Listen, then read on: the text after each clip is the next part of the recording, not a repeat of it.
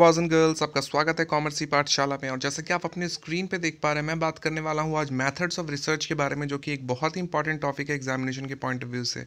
Examination में ये question आपसे पूछा जाएगा, जहाँ पे आपसे पूछा जाएगा कि कौन कौन से मेथड्स हैं रिसर्च के। अगर आप रिसर्च करने की बात कर रहे हो तो कौन कौन से ऐसे मेथड्स हैं जिसका आप इस्तेमाल कर सकते हो रिसर्च में? तो ये हमारा टॉपिक है, काफ़ी बेनिफिशियल टॉपिक है, काफ़ी इंपॉर्टेंट टॉपिक है। तो इस वीडियो को पूरा देखिएगा ताकि आपको पूरी जानकारी मिल पाए। थोड़ा ये वीडियो लंबा हो सकता है बिकॉज़ यहाँ पे मैं सारे के सारे टॉपिक्स को एक ही साथ कवर करने की कोशिश करने वाला हूँ। ठीक है? तो स्टार्ट करते हैं फिर वीडियो उसके पहले कहना चाहूँगा कि अगर आप हमारे चैनल पर नए हो तो हमारे चैनल को सब्सक्राइब कर लो और बेल आइकन दबा दो ताकि आपको मेरे वीडियोज़ की नोटिफिकेशन जो है वो सबसे पहले मिलती रहे। तो आइए बात कर लेते हैं। The researcher has to provide answers at the end to the research question raise in the beginning of the study ठीक है? जब आप स्टडी स्टार्ट करो तो जो भी क्वेश्चन आपके मन में है, उन्हीं का आंसर जो है आपको रिसर्च के एंड में आपको प्रोवाइड कराना रहता है एज ए रिसर्चर आपको मन में जो क्वेश्चन है, उसको सॉल्व करना है आपको with the help of research for this purpose he has investigated and gather the relevant data and information as a basis और एविडेंस और इसी पर्पज़ के लिए जो रिसर्चर होता है, वो क्या करता है? इन्वेस्टिगेशन करता है डेटा गैदर करता है डेटा को जमा करने की कोशिश करता है, जो रेलिवेंट डेटा होता है एज ए इन्फॉर्मेशन और उसी का इस्तेमाल जो है, वो बाद में जा करके उस आंसर्स को देने के लिए करता है। और फिर वो जो है एक तरीके से एविडेंस काम करता है, जो डेटा वो इकट्ठा करता है, वो एक तरीके से एविडेंस काम करता है कि उसने जो आंसर दिया है वो सही है, उसका प्रूफ क्या है? वही जो डेटा है, वही उसका एविडेंस होगा प्रूफ होगा। The procedures adopted for obtaining the same are described in the literature as methods of research and approaches to research, ठीक है ना? अब जो ये मेथड का इस्तेमाल करेगा उन सारे डेटा को इकट्ठा करने के लिए, उसी को हम लोग मेथड ऑफ़ रिसर्च या फिर अप्रोचेस टू रिसर्च के बारे में समझ रहे हैं मतलब वही चीज़ है। In fact they are broad methods use to collect the data these methods are as follows तो ये जो मैथड्स हैं, ये बहुत ही बड़े मैथड्स हैं और इन्हीं को हम एक एक करके करने वाले हैं। सबसे पहला सर्वे मैथड थोड़ा सा मैं आपको बता देता हूँ पहले इन सब के बारे में। सर्वे मैथड का मतलब क्या होता है? सर्वे का मतलब होता है आपको फिजिकली आप जाकर के सर्वे कर रहे हो। सपोज़ आपको ये पता करना है कि एक लोकेलिटी में दस लोग रहते हैं सपोज़ उस दस लोग के घर में कौन सी चाय बनती है? तो किस चाय का डिमांड उसके बगल, उसके, उस मोहल्ले में जो दुकान है, उस मोहल्ले में जो शॉप है, उस शॉप वाले के पास कौन सी वाली चाय ज़्यादा बिकेगी? मैं बहुत ही छोटे लेवल पे एक एग्जांपल देने की कोशिश कर रहा हूँ, हालाँकि बड़ा एरिया ले सकते हैं, है ना? तो कौन सी चाय लोग जहाँ पीना पसंद करते हैं, ठीक है ना? तो सपोज़ आप दुकान खोलने वाले हो वहाँ पे और आपको पता करना है कि भाई जो लोग चाय ज़्यादा पीना पसंद करते हैं, मैं उसी चाय को रखूँगा। तो वो दुकानदार जो है मोहल्ले में घूमेगा, सबके घर जाएगा, उससे पूछेगा कि भाई आपको कौन सा चाय पीना पसंद है, आप बताइए मुझे। तो वो बताएँगे ठीक है, मुझे ताज जो है वो पसंद है। ठीक है, किसी ने कहा, सपोज़ मुझे ब्रुक बॉन्ड पसंद है।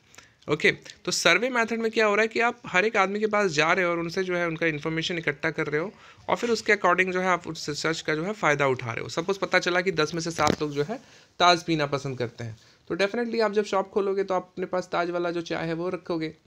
है ना? तो this is survey method survey मतलब आपको जाना है और खुद से इन्फॉर्मेशन जो है इकट्ठा करना है। उसके बाद ऑब्जर्वेशन मेथड ऑब्जर्वेशन मेथड नाम से पता चल रहा है कि यहाँ पे ऑब्ज़र्व करने की बात की जा रही है। यहाँ पे आपको फिजिकली करना तो है बट यहाँ पे ऑब्जर्वेशन आपको किया जाएगा। आप ऑब्ज़र्व करोगे चीज़ों को और उसके बेसिस पे जो है आपका रिसर्च जो है वो काम करेगा। ठीक है ना? केस मेथड केस मेथड में क्या होता है? यहाँ पे कोई भी जो प्रीवियस केसेस होते हैं उस चीज़ से रिलेटेड, उसके ऊपर एक तरीके से रिसर्च किया जाता है। फॉर एग्जांपल, कोई एक टॉपिक है जिसको लेकर के कई साल पहले किसी व्यक्ति ने रिसर्च करने की कोशिश की थी, उसी टॉपिक के ऊपर आप रिसर्च करने वाले हो। तो in that case that case research है ना?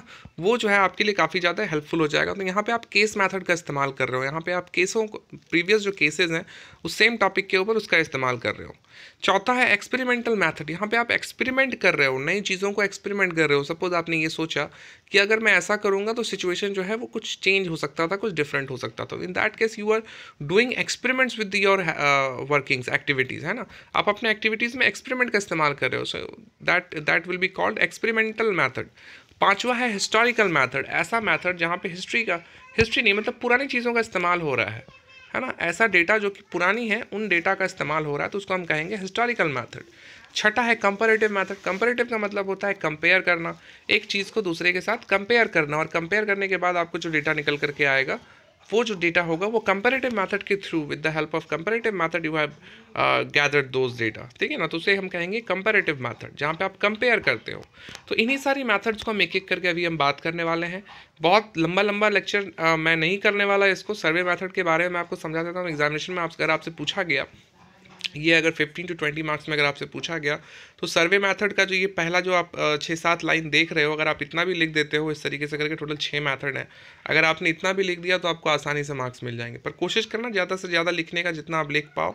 बट फ़िलहाल मैं आपको सर्वे मैथड का जो ये पहला छः लाइन है, अगर ये सफिशेंट लगा तो ठीक है, नहीं तो मैं थोड़ा सा और आगे बढ़ा, बताने की कोशिश करूँगा। हर एक मेथड में, ठीक है? तो सर्वे मेथड के बारे में पढ़ लेते हैं।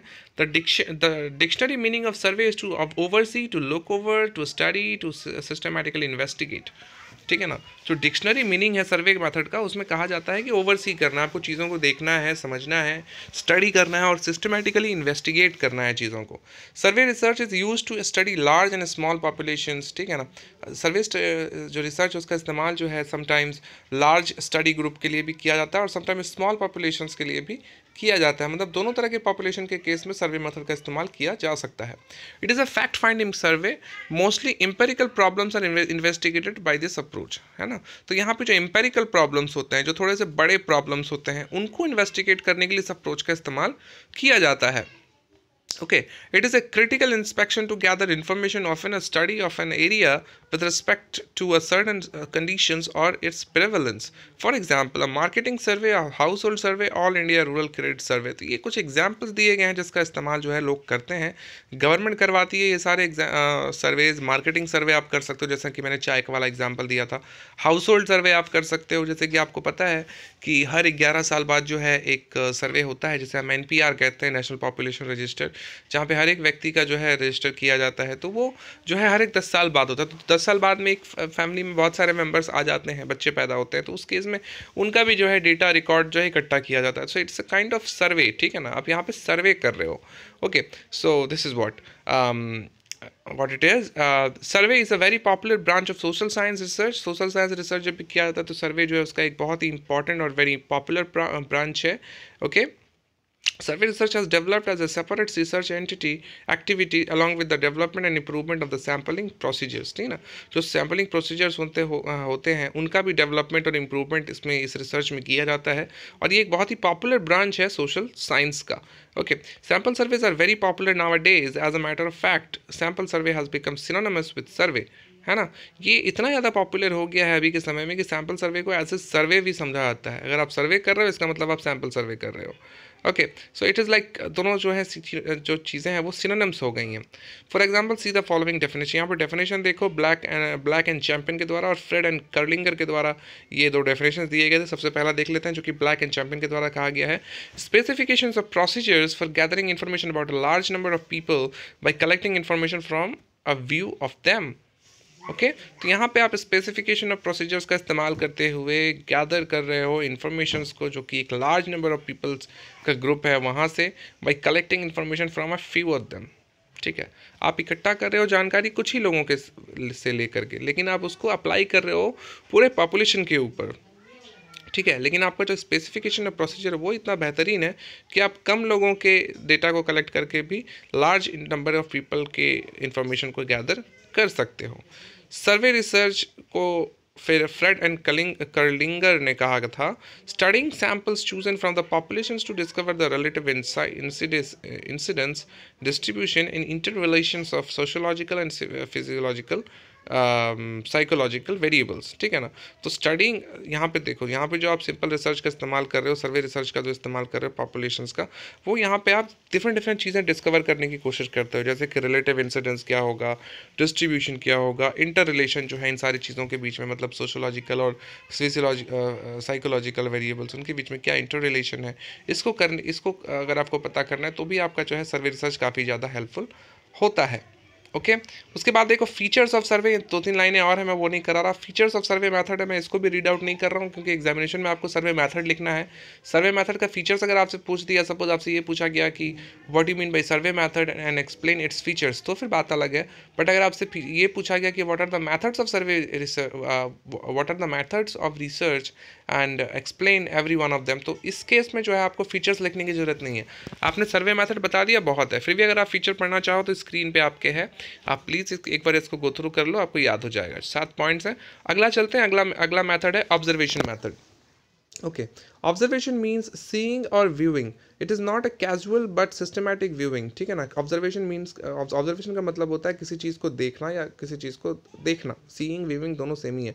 It is not a casual ये जो है कोई एक कैजुअल देखना नहीं होता बट अ सिस्टमैटिक व्यूइंग आप सपोज़ सारा दिन बैठ करके किसी की एक्टिविटी को वॉच कर रहे हो ऑब्ज़र्व करने की कोशिश कर रहे हो तो उसे हम कहेंगे सिस्टमेटिक व्यूविंग आपका जो है प्लानिंग के तहत चीज़ें काम कर रही हैं। और ऐसे भी हम, मैं किसी को ऑब्ज़र्व करूँगा तो उसको ऑब्जर्वेशन मेथड थोड़ी बोलेंगे, क्योंकि हम रिसर्च थोड़ी कर रहे हैं। रिसर्च जब भी करेंगे तो वो सिस्टमेटिक होगा, है ना? कि मैंने देखा कि भाई सुबह छः से बारह उसने क्या किया, फिर बाकी का जो बारह से छः शाम का, उस, वो उस टाइम उसने क्या किया। सो इस तरह की व्यूविंग ठीक है?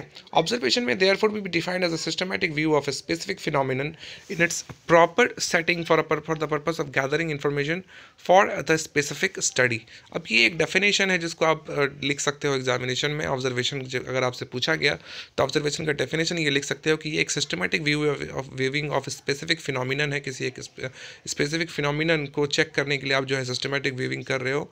और यहाँ पर आपने प्रॉपर सेटिंग करके रखी हुई है ताकि आपको जो इन्फॉर्मेशन मिले वो आपका गैदर जो इन्फॉर्मेशन है वो आप अच्छे तरीके से गैदर कर सको फॉर द स्पेसिफिक स्टडी ये जो स्पेसिफिक फिनोमिनन है, वही आपका स्पेसिफिक स्टडी है.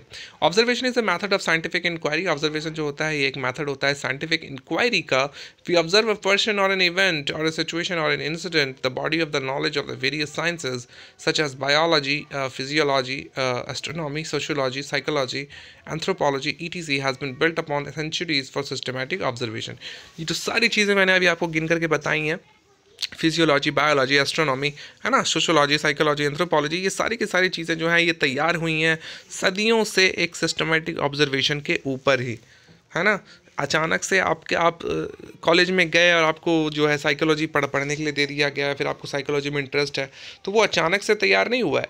सदियों इसके ऊपर जो है एक तरीके से ऑब्जर्वेशन हुआ है, चीज़ों को डेवलप किया गया है, चीज़ों को अच्छे तरीके से जो चीज़ें वो लोग इन्फॉर्मेशन उनको मिलती हैं, उसको डेवलप किया जाता है, तब जा करके ये जो है एक सब्जेक्ट बनता है।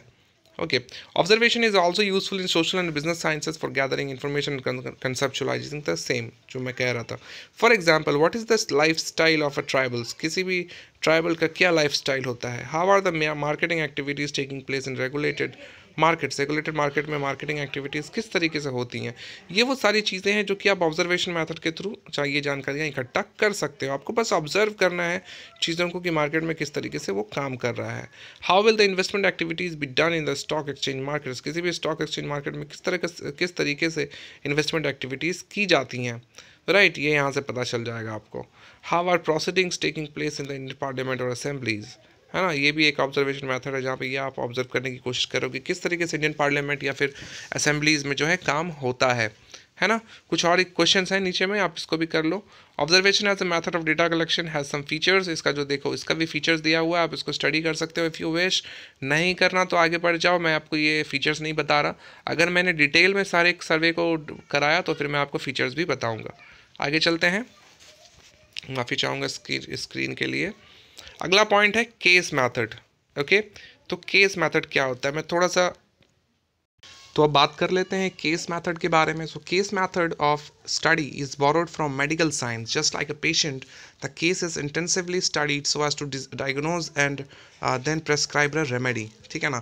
तो केस मेथड का जो तरीका होता है, ये एक तरीके से मेडिकल साइंस से बोरो किया गया है। जिस तरीके से मेडिकल साइंस में हम लोग किसी एक पेशेंट को, के केस को समझने के लिए उसको डायग्नोज करते हैं और फिर उसको जो है रेमेडी प्रेस्क्राइब करते हैं, उसी तरीके से इस मेथड में भी हम लोग किसी एक केस को, जो कि प्रीवियसली उन सेम चीज़ों के ऊपर किया गया होगा, उसको, उसके, उसको बेसिस बना करके उसके ऊपर जो है उस मेथड का इस्तेमाल करके जो हम यहाँ पे फाइंडिंग्स करने की कोशिश करते हैं। देखो, लिखा हुआ है a firm or a unit is to be studied intensively with view to finding out problems differences specialities as to suggest semi remedial measures ठीक है ना?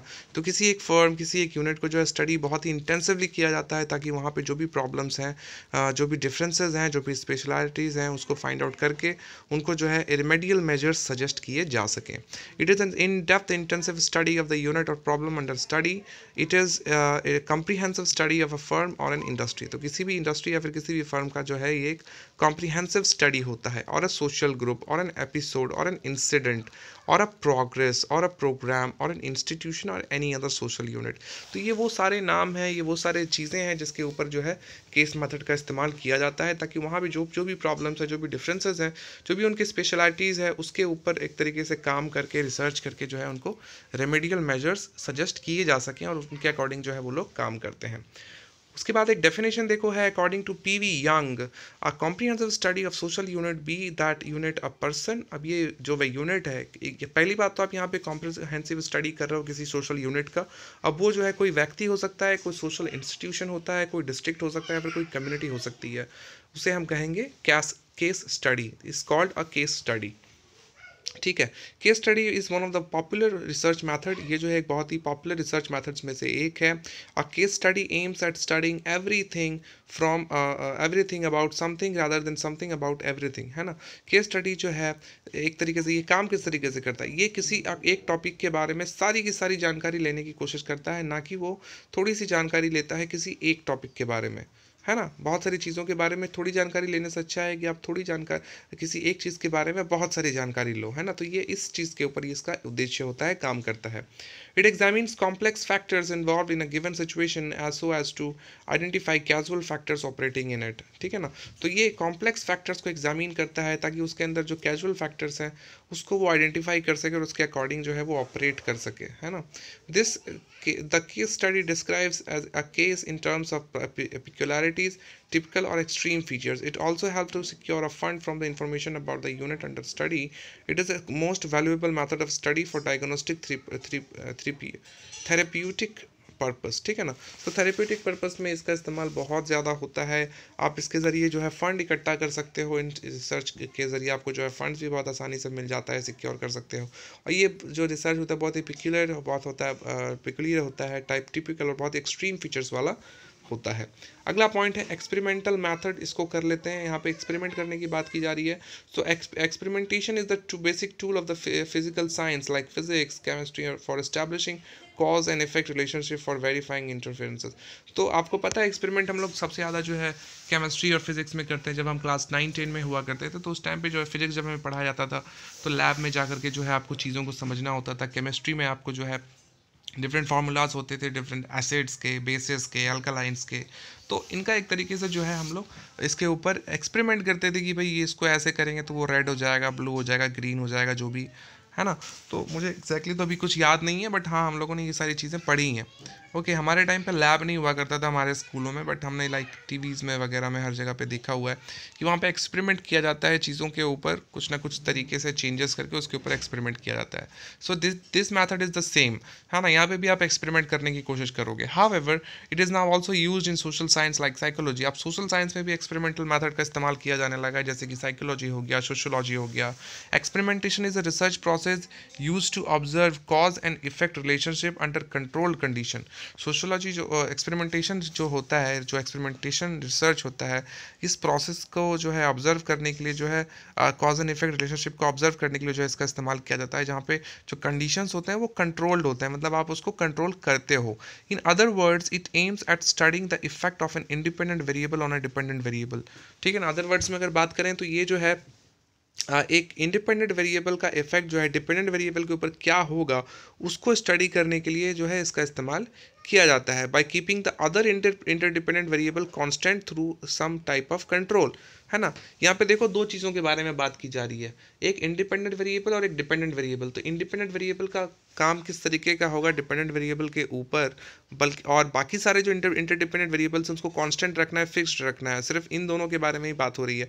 तो इन दोनों को हम एक्सपेरिमेंट करेंगे तो फिर हमें पता चल पाएगा कि इसका कॉज एंड इफ़ेक्ट रिलेशनशिप क्या है। Okay in experimentation uh, in experimentation the researcher can manipulate the independent variable and measure its effect on the dependent uh, dependent variable. ठीक है ना? तो एक्सपेरिमेंटेशन में क्या होता है? जो रिसर्चर होता है वो मैनिपुलेट कर सकता है इंडिपेंडेंट वेरिएबल को और उसका इस्तेमाल जो है डिपेंडेंट वेरिएबल के ऊपर किस तरीके से उसका असर पड़ेगा उसके बारे में वो पता कर सकता है। यहाँ पर देखो फीचर्स बताया गया है। मैंने कहा था कि मैं जब भी डिटेल में किसी टॉपिक के बारे में बात करूँगा तो फिर मैं फीचर्स बताऊँगा। अदरवाइज़ ये फीचर जो है आप स्टडी कर सकते हो पढ़ सकते हो। ठीक है ना? मैं थोड़ा देर के लिए रुक जा रहा हूँ। आप इसको चाहो तो एक बार रीड आउट कर लो गो थ्रू कर लो, फिर आगे बढ़ते हैं। जितना मैंने अभी बताया है आपको, इस एक्सपेरिमेंट मेथड के बारे में अगर आप इतना एग्ज़ाम में लिख देते हो that would be more than enough ठीक है? क्योंकि पाँच छः मैथड्स हैं, उन छः मैथड को आपको कवर करना है। अब आ जाती है बात हिस्टोरिकल मैथड के ऊपर। Okay so when research is conducted on the basis of historical data जब आप हिस्टोरिकल डेटा के ऊपर किसी तरह का रिसर्च कर रहे हो the researcher is set to be to have followed the historical approach तो इस केस में आपने हिस्टोरिकल अप्रोच का इस्तेमाल किया है हिस्टोरिकल मैथड का इस्तेमाल किया है। है ना? आपको रिसर्च करना है लेकिन जो आपका डेटा है वो बहुत ही पुराना है बहुत ही लाइक like, रिसेंट का नहीं है तो उसे हम कहेंगे historical approach to some extent all research is historical in nature कुछ एक्सटेंट में अगर देखा जाए तो सारे के सारे रिसर्च जो होते हैं वो हिस्टोरिकल नेचर के ही होते हैं. But to a very large extent research depends on the observation data recorded in the past लेकिन अगर देखा जाए तो बहुत ही बड़े स्तर पर जो है जो डेटा आप अभी इकट्ठा कर रहे हो है ना जो ऑब्जर्वेशन के थ्रू या फिर जो प्रीवियस डेटा इकट्ठा किए गए हैं उसके बेसिस पे वो काम होता है ना कि एकदम ही हिस्टोरिकल जो डेटा होता है उसके ऊपर हिस्टोरिकल डेटा का इस्तेमाल होता है बट बड़े तौर पे जो है इसका इस्तेमाल ऑब्जर्वेशन uh, और जो रिकॉर्डेड पास्ट में डेटा है उसके ऊपर किया जाता है problem that are based on historical records relies relax documents or chronological data can conveniently be investigated by following this method. तो यहाँ पे जो भी प्रॉब्लम्स आपके हिस्टोरिकल रिकॉर्ड्स में आ रही हैं, जो भी आपको प्रॉब्लम्स हो रही हैं, उनका इस्तेमाल, उनको सॉल्व करने के लिए आप जो है हिस्टोरिकल रिकॉर्ड्स का इस्तेमाल कर सकते हो डॉक्यूमेंट्स का इस्तेमाल कर सकते हो और क्रोनोलॉजिकल डेटा का इस्तेमाल कर सकते हो। बहुत ही कन्वीनियंटली जिसका, जिसको इन्वेस्टिगेशन करने के बाद आप जो है अपने प्रॉब्लम्स को सॉल्व कर सकते हो with the help of this this historical method historical research depends on past observation or data and hence is not repetitive okay therefore it is only a post factor analysis तो ये एक तरह का post factor analysis होता है। मतलब किसी चीज़ के घट जाने के बाद जो एनालिसिस किया जाता है, उसे हम पोस्ट फैक्टो कहेंगे। However historians philosophers social psychiatrist literary man as well as social scientist use the historical method तो यहाँ पे बहुत सारे लोगों के बारे में बताया गया है जो कि हिस्टोरिकल अप्रोच हिस्टोरिकल मैथड का इस्तेमाल करते हैं, जैसे कि हिस्टोरियंस हो गए फिलासफर्स हो गए सोशल साइकियाट्रिस्ट साइकियाट्रिस्ट हो गए लिटरेरी मैन हो गए और जो सोशल साइंटिस्ट होते हैं, वो भी हिस्टोरिकल अप्रोच का इस्तेमाल करते हैं। Historical research is the critical investigation of events developments experiments of the past historical research जो होता है क्रिटिकल इन्वेस्टिगेशन होता है किन चीज़ों का इवेंट्स का डेवलपमेंट्स का जो एक्सपीरियंस किए जाते हैं पास्ट में, उन सब चीज़ों का जो है एक तरीके से ये एक इन्वेस्टिगेशन क्रिटिकल इन्वेस्टिगेशन होता है।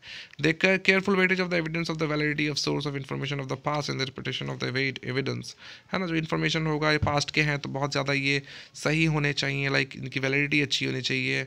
ओके okay, इस तरह की चीज़ें। The historical method also called historiography differs from other methods in its rather in elusive subject matter that is the past जो हिस्टोरिकल मेथड होता है जिसे हम हिस्ट्रियोग्राफी भी कहते हैं इस केस में ये जो है डेफर करता है बाकी सारे मेथड्स के मुकाबले क्योंकि ये थोड़ा जी तो हिस्टोरिकल मेथड इसको कहा जा रहा है साथ ही साथ इसको हिस्ट्रियोग्राफी भी कहा जा रहा है बिकॉज़ ये जो है एक तरीके से डेफर करता है बाकी सारे मेथड्स के मुकाबले क्योंकि ये जो है थोड़ा सा एल्यूजिव है मतलब यहाँ पे पास्ट की बात होती है।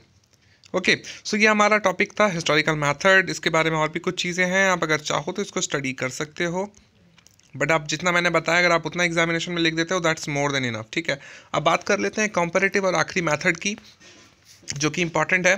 तो कंपेरेटिव मैथड नाम से आपको समझ में आ रहा है कि यहाँ पे कंपेरिजन करने की बात की जा रही है। राइट अब देखो क्या लिखा हुआ है? The comparative method is usually frequently called evolutionary or genetic method इसको जो है हम इवोल्यूशनरी या फिर जेनेटिक मैथड भी बोलते हैं। The term comparative method has came about in his way in this way some sciences have long been known as comparative sciences कुछ साइंसेज को जो है कंपेरेटिव साइंसेज बोला जाता था प्रीवियस टाइम में। तो उसी तरह वहीं से जो है ये नाम जो है वो आया है। जैसे कि देखो कंपेरेटिव फिलोलॉजी हो गया फिलोलॉजी हो गया कंपेरेटिव एनाटॉमी हो गया कंपेरेटिव फिजियोलॉजी हो गया कंपेरेटिव साइकोलॉजी हो गया, इन सारी चीज़ों से ही जो है कंपेरेटिव मैथड या फिर कंपेरेटिव अप्रोच जो है यहाँ से निकल करके आया है। बट इसका और भी नाम है जैसे कि evolutionary or genetic method okay Now the method of these senses came as to subscribe as a comparative method as abridged expression for the method of the comparative sciences मतलब यहाँ पे एक method है जो कि comparative sciences के ऊपर बात करता है that is why it is known as comparative method when the method of the most comparative sciences came to be directed more or more to the determination of evolutionary sequences it came to be described as the evolutionary method अब जब आप इस comparative method का इस्तेमाल जो है directly बार बार जो है आप इसका इस्तेमाल करते हो डिटर्मिनेशन करने के लिए इवेल्यूशनरी सीक्वेंस में तो इसे हम इवेल्यूशनरी मैथड कहते हैं। देखो कंपेरेटिव साइंस अब देखो, आपने जब इस टाइम कंपेयर किया तो कुछ एक प्रोडक्ट निकला, अगले साल आप फिर से कंपेयर करोगे, कुछ और प्रोडक्ट निकलेगा, फिर उसके अगले साल करोगे तो कुछ और प्रोडक्ट निकलेगा। तो जो डेवलपमेंट हो रहा है, इसी को हम इवेल्यूशन के बारे में समझेंगे, है ना? इवेल्यूशन की तरह समझेंगे।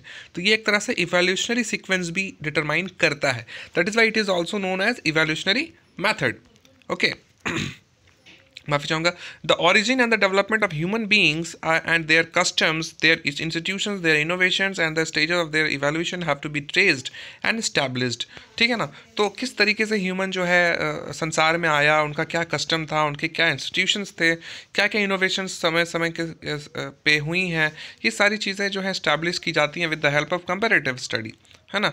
The scientific method by which such developments are traced is known as genetic method तो जो साइंटिफिक मैथड जिसके ज़रिए इन सारे डेवलपमेंट्स को ट्रेस किया जा, जा सकता है उसे हम कहेंगे जेनेटिव मैथड और इसे ही हम इवेल्यूशनरी मैथड भी कहेंगे क्योंकि ये समय के साथ जो है धीरे धीरे धीरे धीरे करके बदलता है।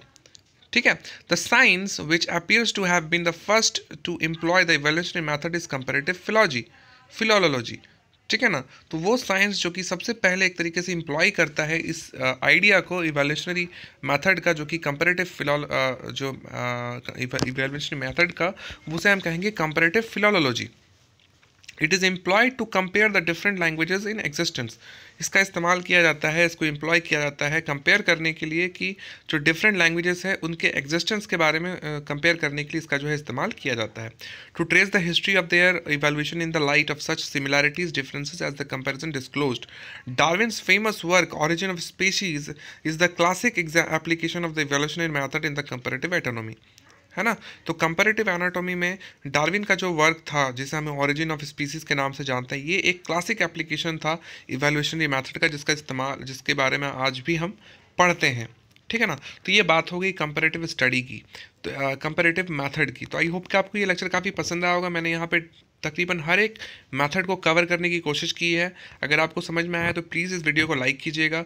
कमेंट करके बताइए आपको ये वीडियो कैसा लगा। और इसको शेयर कीजिए ज़्यादा से ज़्यादा अपने दोस्तों के साथ, अपने फ्रेंड्स के साथ, ताकि वो जो है इनको देख करके वो भी बेनिफिशियल हो सके और उनका भी एग्ज़ाम जो है वो बेहतर हो। ठीक है ना? तो मिलते हैं अगले वीडियो में। अपना ख्याल रखो। बाय